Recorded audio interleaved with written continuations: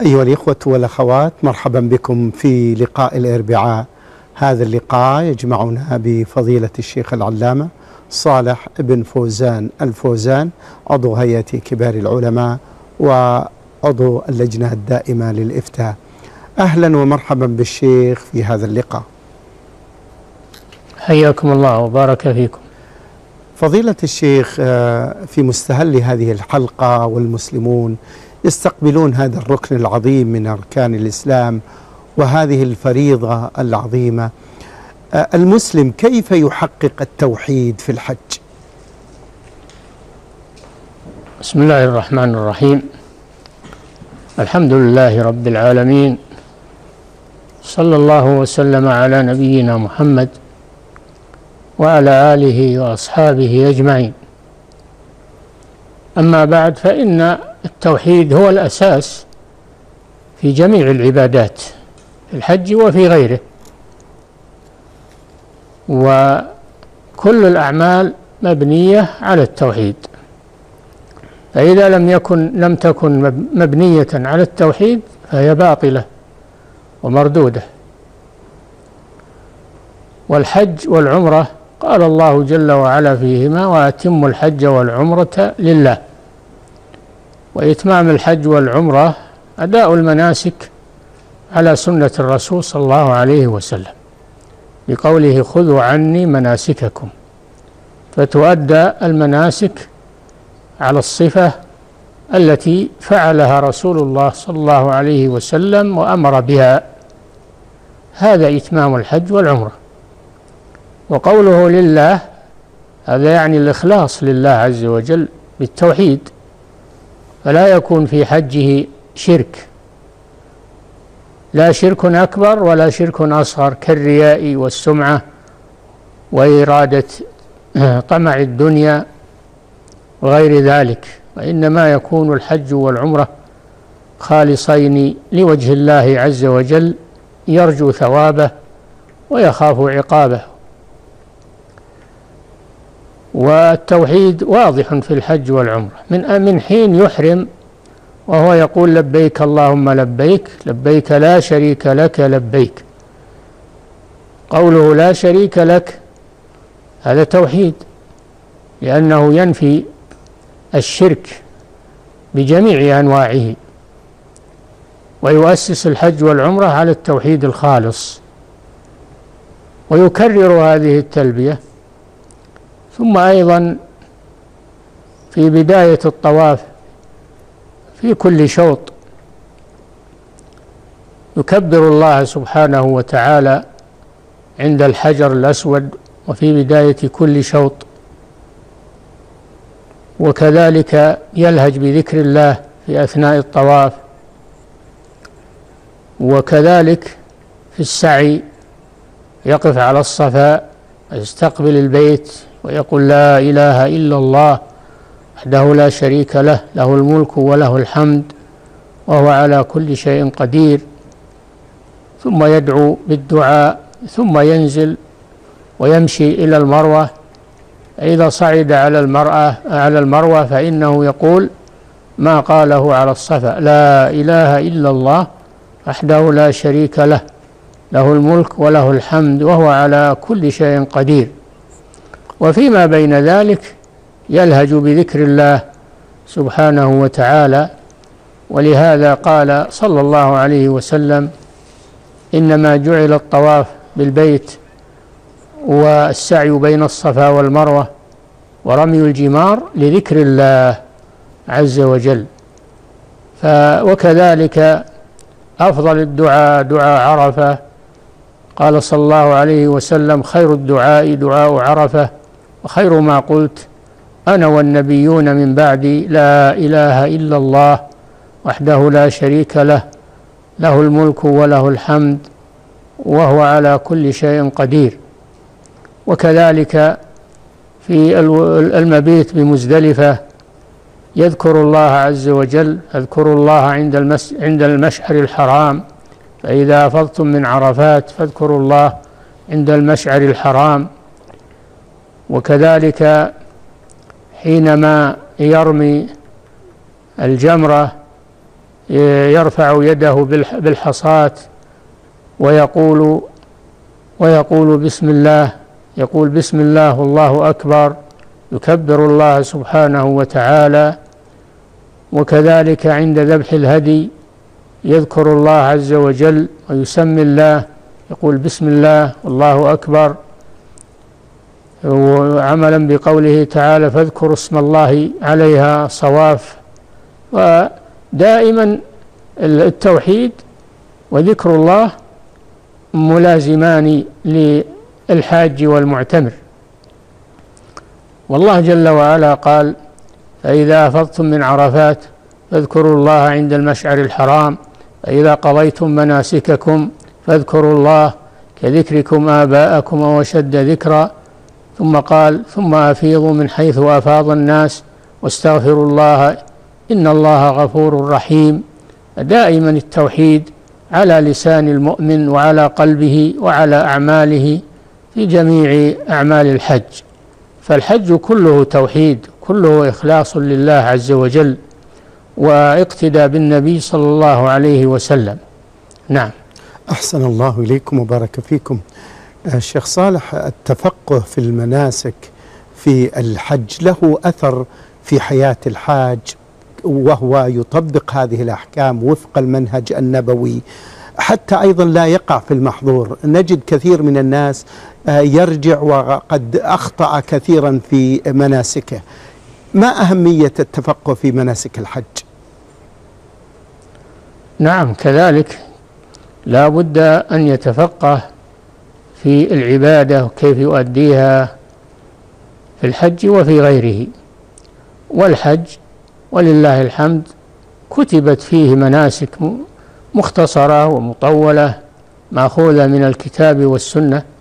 فعلى من يريد الحج أن يقرأها ويتمعن فيها ويتأملها ويعرف ما المطلوب منه في حجه وعمرته وما أشكل عليه يسأل أهل العلم عنه لقوله تعالى آه، فاسألوا أهل الذكر إن كنتم لا تعلمون.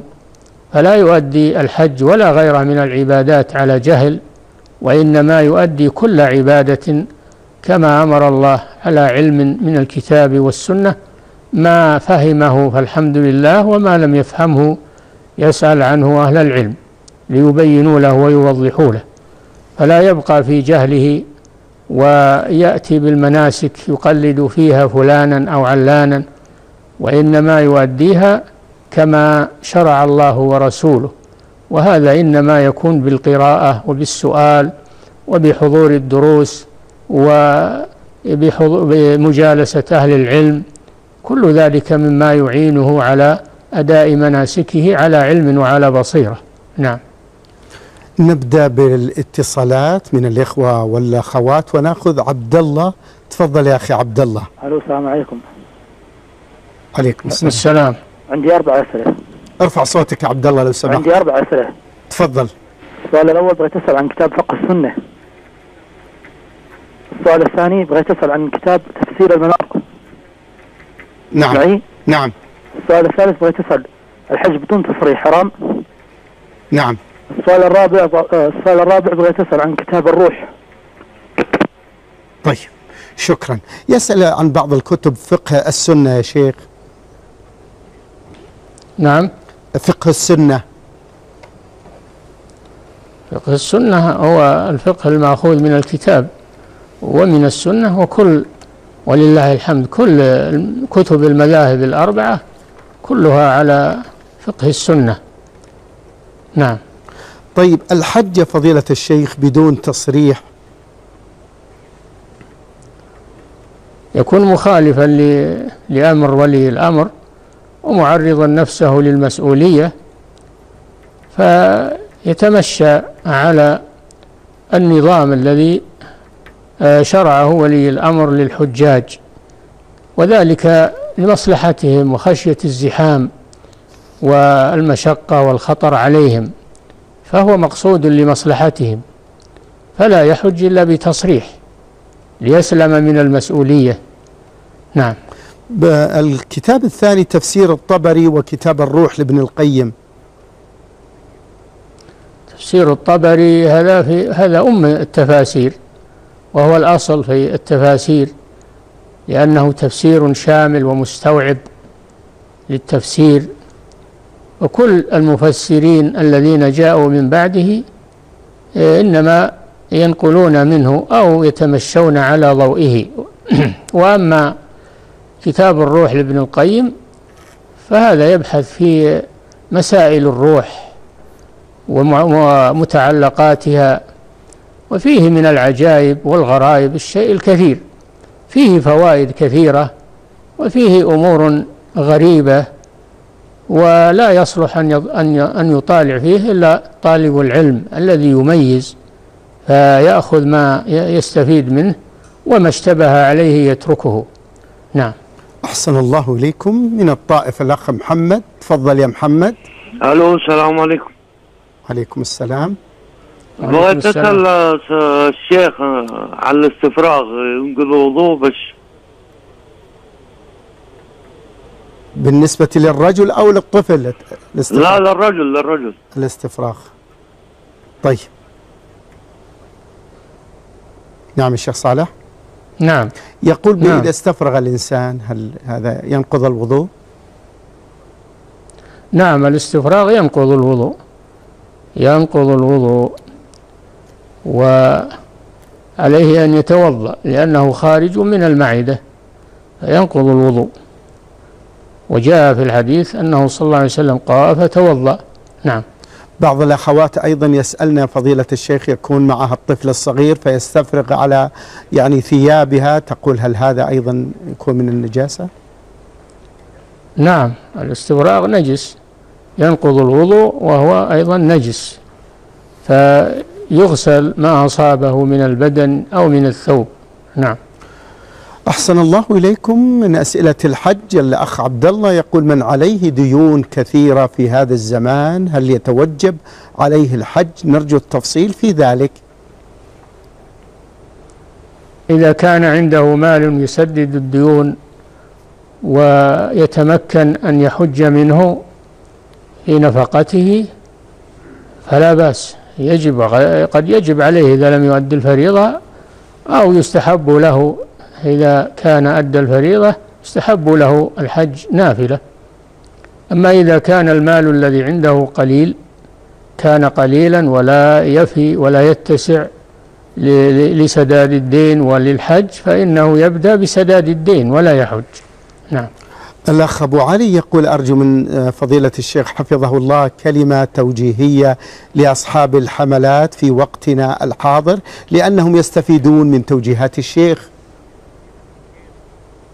نعم على أصحاب الحملات أن يتقوا الله عز وجل وأن لا يتخذوا الحملات مصدر للارتزاق فقط وإنما يرفقوا بإخوانهم وأن يمكنوهم من أداء المناسك على الوجه المطلوب ولا يشق عليهم أن ينزلوهم في منى أن يمكنوهم من المبيت أن يمكنوهم من الوقوف بعرفة إلى غروب الشمس أن يمكنوهم من المبيت في المزدلفة معظم الليل أن يمكنوهم من المبيت في منى ليالي أيام التشريق وهكذا آه، يعينوهم من على أداء المناسك.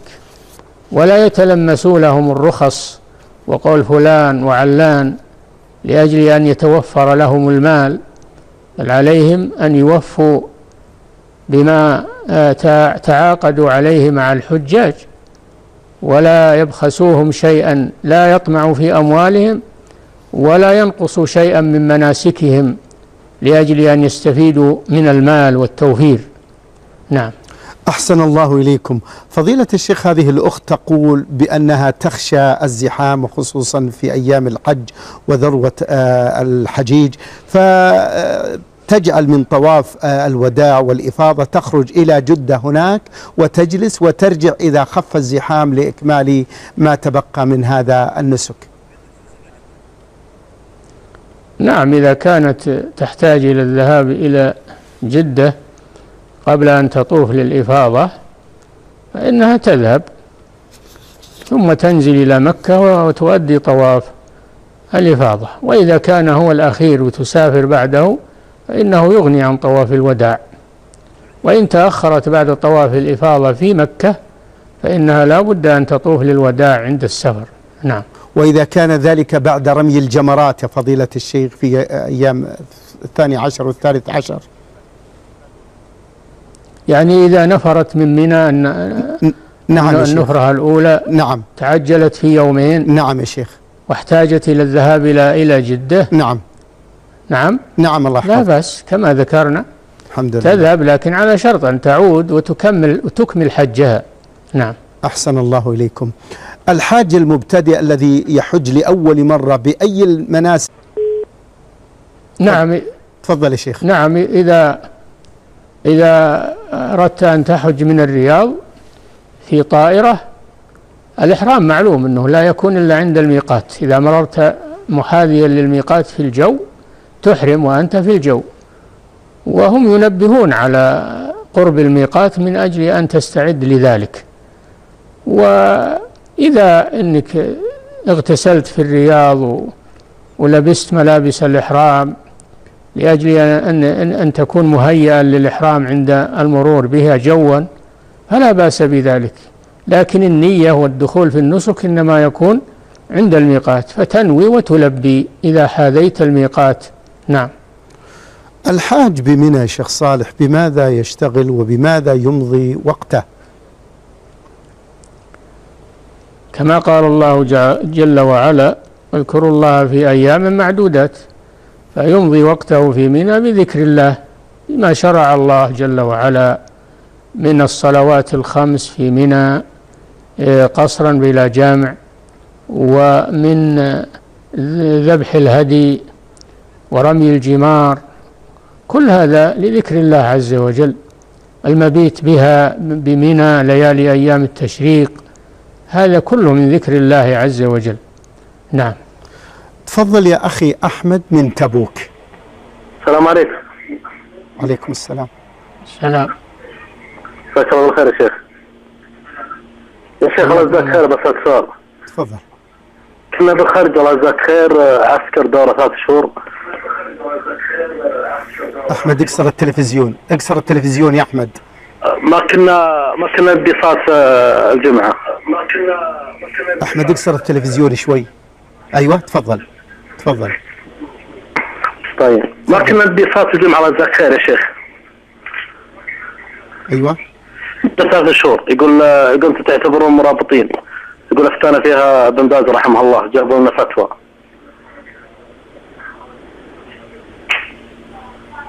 هل علينا شيء ولا لا؟ طيب. شكرا. نعم. نعم.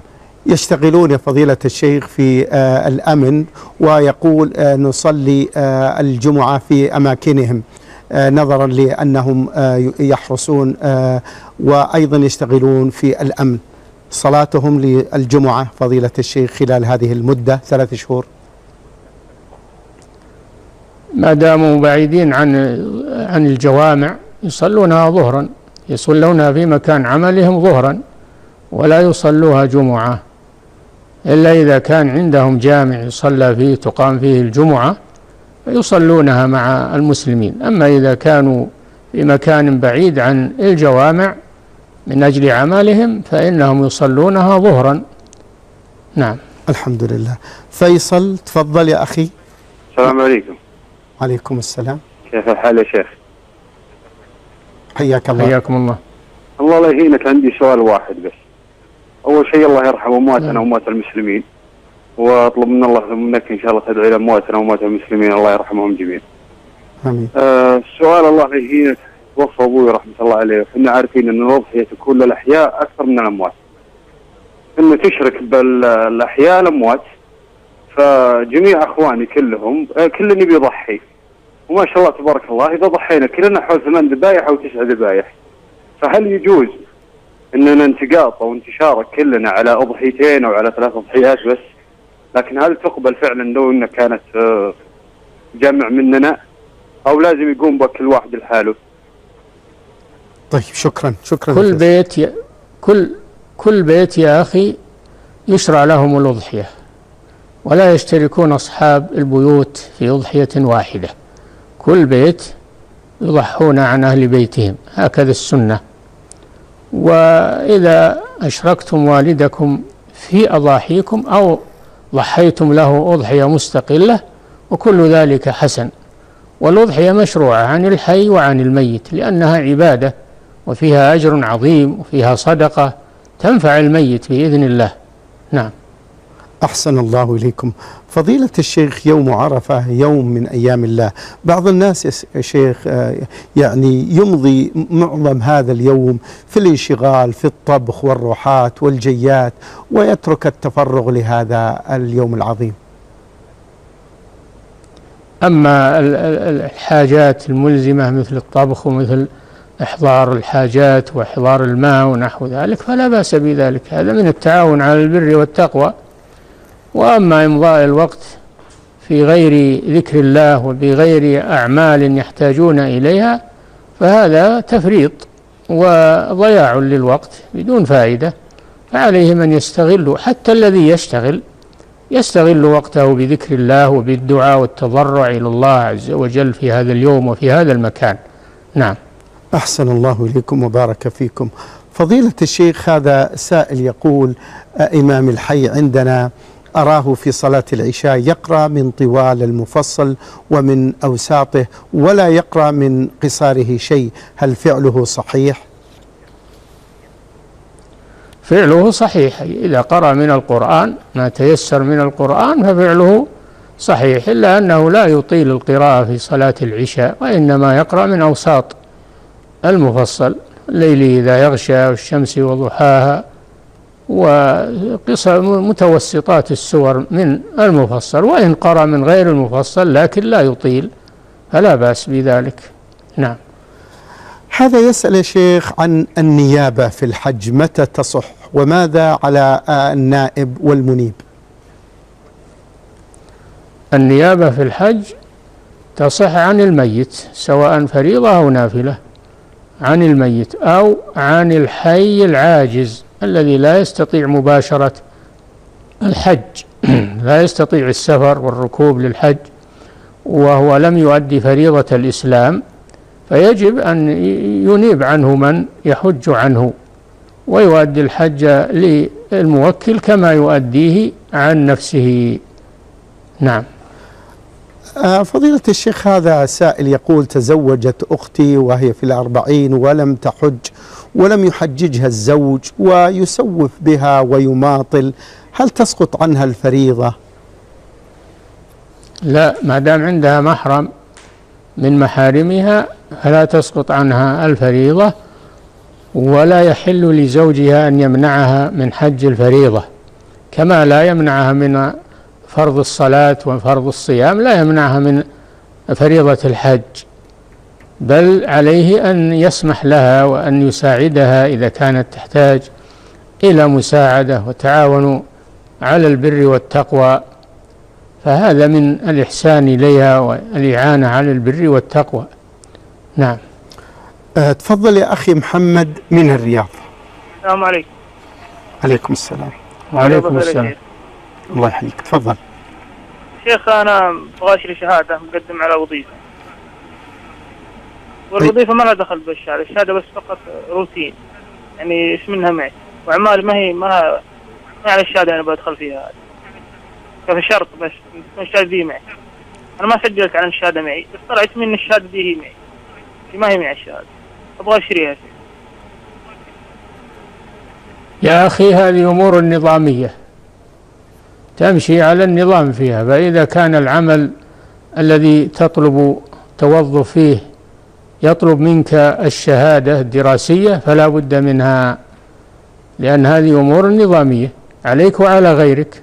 نعم. أحسن الله إليكم. ما حكم مسابقة الإمام في الصلاة يا فضيلة الشيخ؟ حرام. مسابقة الإمام في الصلاة. قال صلى الله عليه وسلم إنما جعل الإمام ليؤتم به فإذا كبر فكبروا ولا تكبروا حتى يكبر وإذا وإذا ركع فاركعوا ولا تركعوا حتى يركع. إلى آخر ما ورد في الحديث أن أفعال الإمام أن أفعال المأموم تكون بعد أفعال الإمام لأن هذا معنى الاقتداء لا يسابقه ولا يوافقه أيضا. بل يتأخر عنه. نعم. أبو دانة من الرياض. السلام عليكم. مساك الله بالخير يا شيخ عبد الكريم. مساك الله بالخير يا شيخنا الفاضل. الله يحييك. تفضل. مساك الله بالخير. كل عام وأنتم بخير إن شاء الله. تقبل الله منا يا شيخ أنا. عندي سؤالين. الحقيقة سؤالين لزوجتي أنا. آه، لكن آه، سؤالنا الأول يقول ما حكم لبس العباءه على الكتف وهي واسعة فضفاضه ال- السؤال لا يا ع- سم. خلينا نجاوب على الأول. سم سم تفضل. عباءة المرأة لا تكون على الكتفين عند الخروج وإنما تضعها على رأسها لتضفي عليها وعلى لباسها. نعم. واسعة يا شيخ الله يحفظك فضفاضه وعليها طرحة. واسعة لابد تكون و... لابد تكون واسعة. لو كانت ضيقة لا تجوز. السؤال الثاني الله يحفظك ويرعاك. طيب. ما حكم قص الشعر نعم. الحاجب من نفس الشعرة؟ وليس من ممة الشعرة نفسها. يعني الشعر لا يجوز التعرض للحاجب. لقوله صلى الله عليه وسلم لعن الله النامصة والمتنمصة. والنامصة هي التي تأخذ شعر حواجبها أو تأخذ منها. فلا يجوز التعرض للحواجب. هذا كبيرة من كبائر الذنوب لأن النبي صلى الله عليه وسلم لعن من فعلته. نعم. أحسن الله إليكم. فضيلة الشيخ هذه الأخت مع زوجها ركبوا الطيارة للسفر ولا يصلون إلى المدينة إلا بعد آه ثلاث ساعات. عند دخولهم صلاة الظهر هل يجمعون ويقصرون أو يؤخرون؟ ما داموا في الطريق فلهم الجمع والقصر. أما إذا وصلوا إلى بلدهم فقد انتهى السفر وانتهى القصر والجمع. ويصلون كل صلاة في وقتها مع إتمامها. نعم. إذا صلوا في الطائرة جمعا وقصرا فضيلة الشيخ. نعم. إذا إذا- كان يتمكنون من الص... نعم. إذا صلوا في الطيارة جمعا إذا. كانوا إذا كانوا يتمكنون من الصلاة آه، في الطائرة لهم مكان يصلون فيه فهو كما لو صلوها على وجه الأرض يجمعون ويقصرون. نعم. فضيلة الشيخ الأخت تقول توفي ولدي عمره 17 سنة بالمرض الخطير ولم يحج وأنا أمه ليس لدي أيضا آه، أقارب كيف أحج عنه؟ إذا أردت أن تحجي عنه فإن تمكنت من الحج عنه بنفسك بأن يكون معك محرم وتذهبين تحجين عنه. وإذا لم تستطيعي وكلي من يحج عنه تدفعين له تكاليف الحج. نعم. الحمد لله. أبو عبد الله من عنيزة. تفضل أخي أبو عبد الله السلام عليكم. عليكم السلام. حياك الله يا شيخ. السلام. أنا عندي سؤالان جزاك الله خير. آه، السؤال نعم. الأول إذا كانت المرأة في سفر آه، وليس لديها ما تزيل المناكير وخشيت من خروج الوقت. خشيت من خروج الوقت. ماذا تصنع؟ هذا السؤال الأول. طيب يجاوب الشيخ لحظة. آه لابد من إزالة ما ي... ي... ما يحول دون وصول الماء. لابد من إزالته في, في السفر وفي غيره. ما عنده يا شيخ؟ ما تزيل به. نعم. ما عنده ما تزيل به المناكير يا شيخ؟ على كل حال يجب عليها إيصال الماء إلى إلى الجلد إلى البشرة. فإذا لم تستطع إزالته الله جل وعلا يقول فاتقوا الله ما استطعتم. فتصلي على حسب حالها. نعم. أحسن الله إليكم. ما هي الأعمال المشروعة في اليوم العاشر من ذي الحجة؟ الأعمال المشروعة في يوم العاشر بالنسبة للحجاج المناسك الأربعة رمي الجمار وذبح الهدي وحلق الرأس والطواف والسعي إذا أمكن هذا ولو فرقها في أيام التشريق فلا بأس بذلك. ويشتغل أيضا بذكر الله بالتكبير. وأما بالنسبة لغير الحاج فيصلون العيد ويذبحون الأضاحي ويذكرون الله عز وجل في أدبار الصلوات جماعة في أدبار الصلوات جماعة. يكبرون سبحان الله والحمد لله ولا إله إلا الله والله أكبر ولله الحمد. دبر كل صلاة في جماعة في أيام التشريق. نعم. آه ما زلنا مع اتصالات الإخوة والأخوات. أبو عبد الله من مكة. تفضل أخي أبو عبد الله السلام عليكم ورحمة الله وبركاته. السلام عليكم ورحمة الله وبركاته. السلام ورحمة الله وبركاته. تفضل أبو عبد الله عندي سؤالان الله يرضى عليك. طيب. قصر التلفزيون شوي أبو عبد الله لو سمحت. طيب طيب. تفضل يا أخي معك الشيخ. يا شيخ بالنسبة عندي الولد كسب له قطعة أرض وهو معاي متزوج هو كسب له قطعة أرض. هل يحق لي مثلا أشرك أخوانه معه في قطعة الأرض هذه؟ في ملكه الأرض ملك له؟ الأرض- نعم الأرض ملك له نعم. وطلع الصك عليها. وهو ابنك؟ نعم. هو ما يجوز لك تعطي إخوانه من ماله إلا بإذنه ورضاه. طيب إذا ما ما يمكن يجبر مثلا بال- بالجبر مثلا بالإكراه وهو مكره يعني. لا لا يا أخي هذا ماله ما ت- ما تعطيه لإخوانه إلا برضاه برضاه. نفسه. جزاك الله خير. شكرا لك. حفظكم الله. فضيلة الشيخ هذا يسأل عن آه، حكم المبيت بمنى ليالي التشريق وماذا يعمل في هذه الليالي ليالي التشريق؟ مأجورين.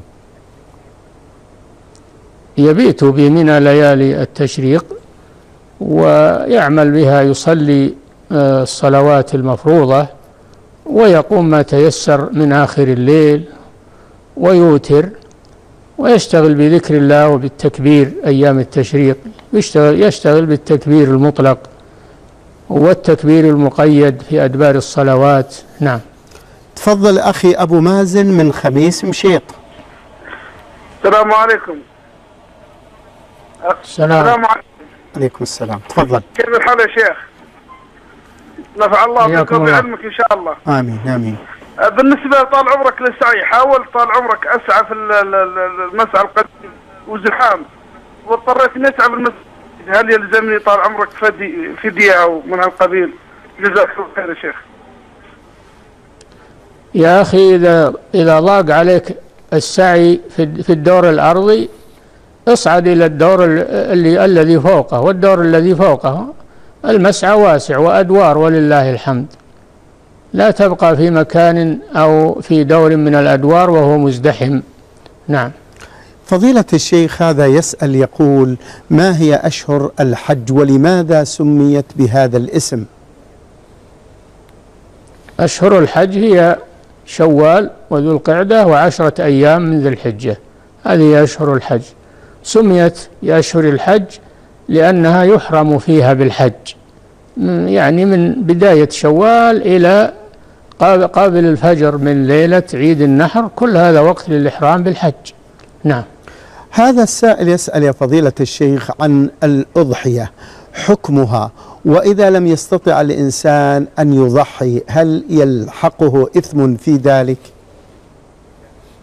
الأضحية سنة مؤكدة ليست واجبة. ولا تلزمه إلا إذا نذرها. إذا نذر أن يضحي يلزمه بالنذر. أما الأصل فهي سنة ومتأكدة سنة مؤكدة. إذا قدر عليها أو حتى ولو استدان لها لأنها شعيرة عظيمة فيضحي مهما أمكنه ذلك. نعم.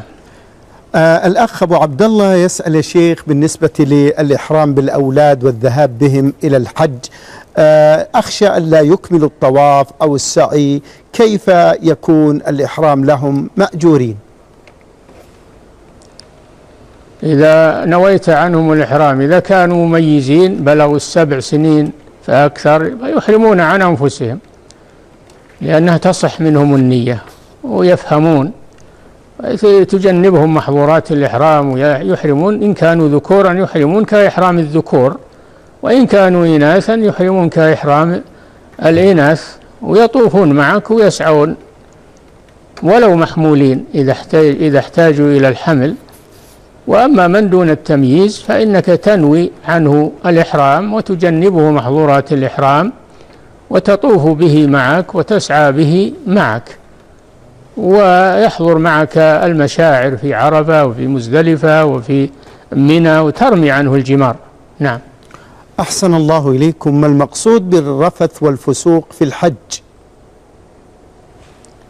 الرفث هو التحدث بالجماع.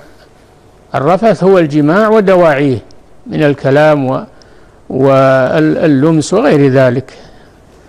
والفسوق هو المعاصي. سميت فسوقا لأن الفسق معناه الخروج في اللغة. سميت المعاصي فسوقا لأنها خروج عن طاعة الله عز وجل.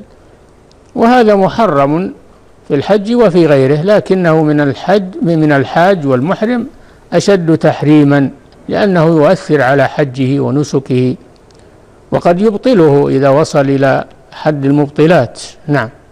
تفضل أخي حمد معنا على الخط. السلام عليكم. وعليكم السلام. والسلام ممكن اكلم الشيخ؟ تفضل. تفضل. السلام عليكم يا شيخ. عليكم السلام. عليكم السلام.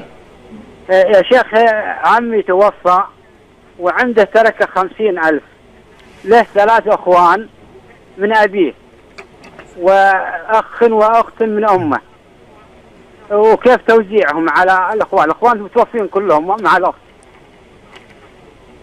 يا أخي اذهب للمحكمة الشرعية وهي تنظر في هذا الأمر وتجري فيه أحكام المواريث على ما شرع الله عز وجل.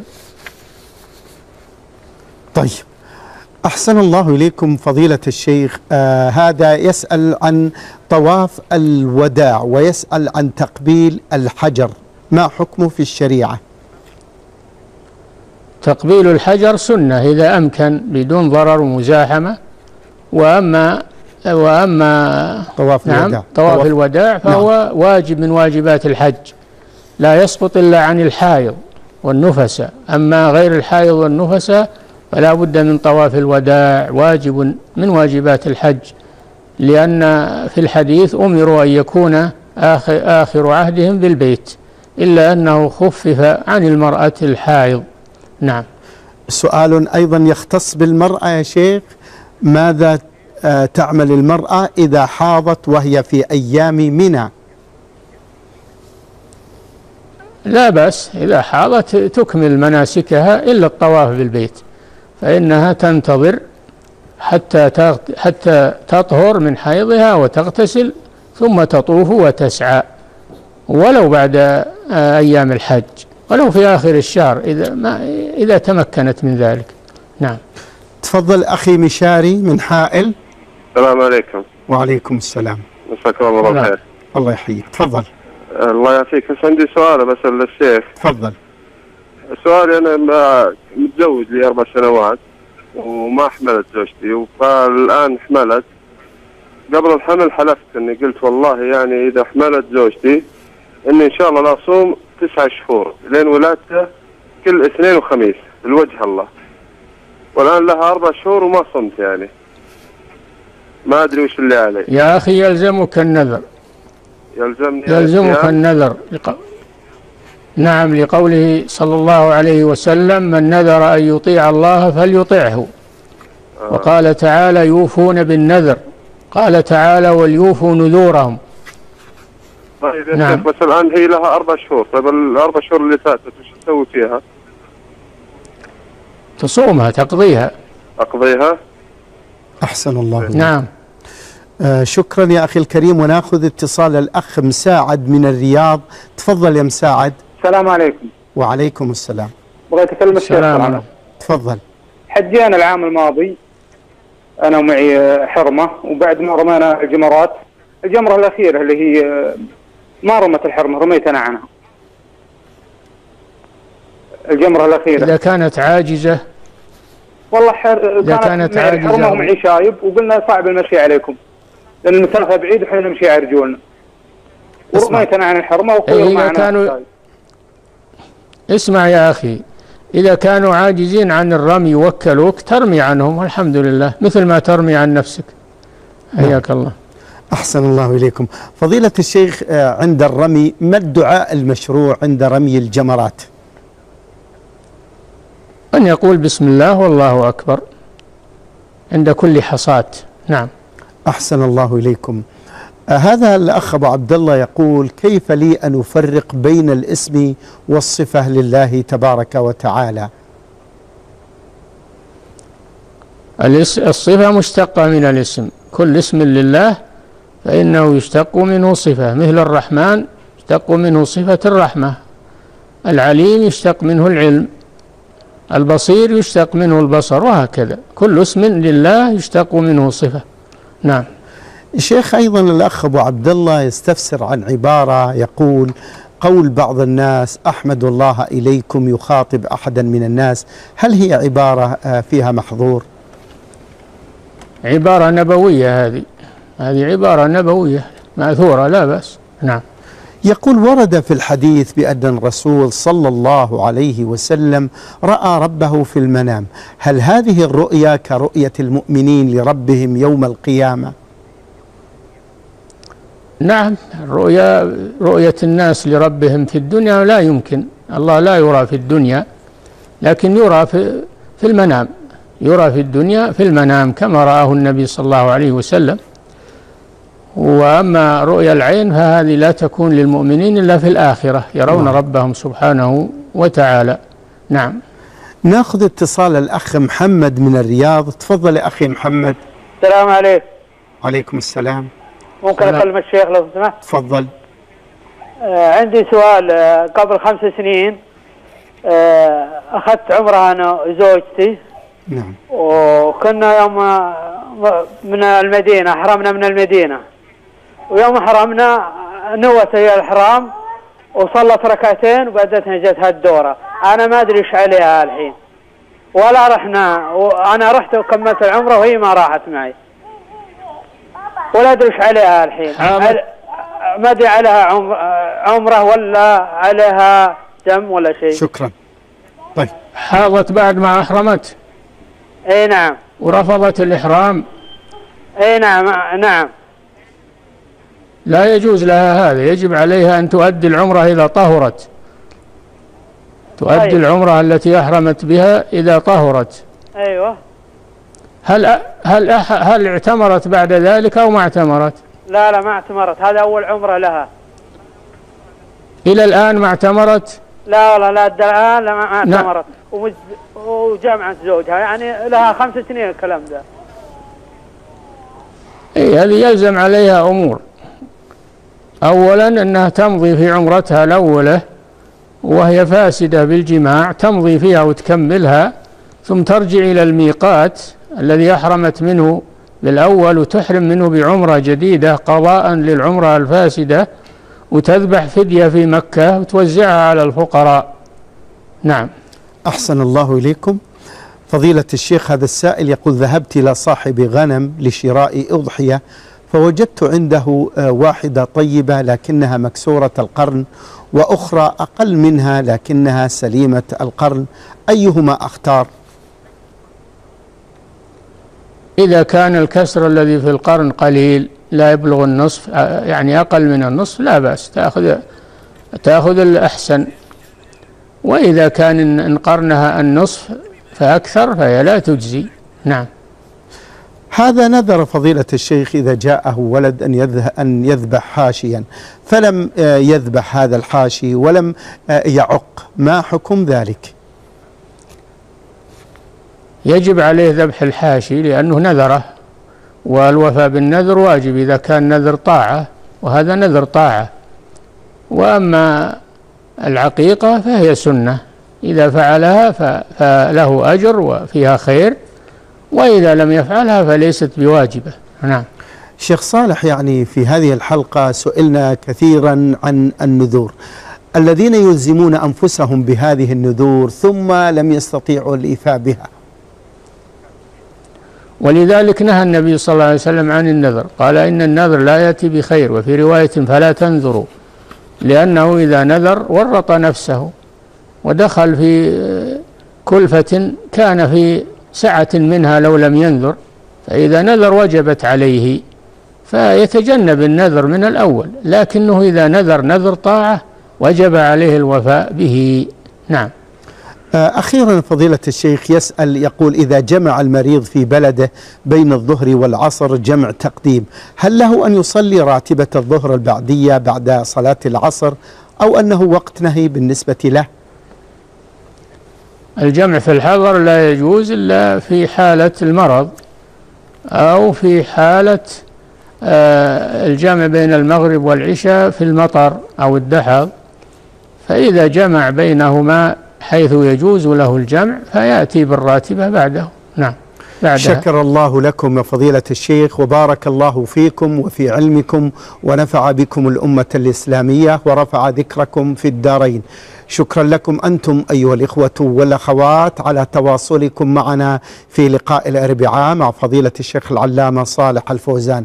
هذه تحية مع من فريق العمل وهذا زميلي مخرج الحلقة نايف الكرشمي. يتمنى لكم التوفيق والسداد. والسلام عليكم ورحمة الله وبركاته.